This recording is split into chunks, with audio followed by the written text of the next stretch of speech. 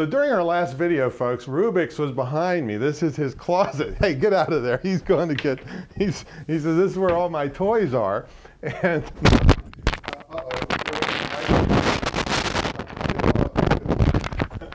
are we still rolling? Yeah, so he just knocked my, that's how crazy these dogs get, folks, about uh, playing with their toys. Am I making a lot of noise with this? Yeah. Um, so I'm just going to show you. He, now he's recovering from a little knee injury.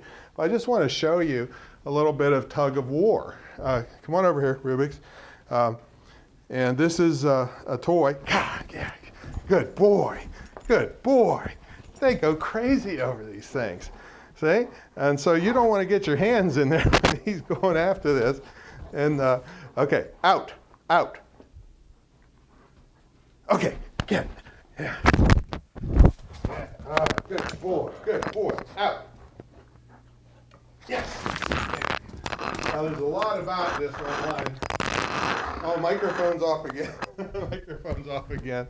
Uh, there's a lot about this online. I'm not sure he knocked my mic off twice on how you do this. Do it safely and do it for a purpose. But uh, you can see he goes crazy over this, and it's good for his bite development.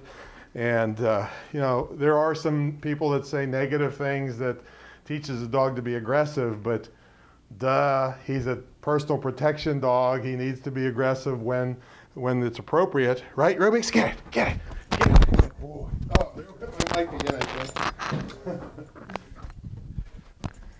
don't bite the mic. Please don't bite the mic. That's more expensive than the toy.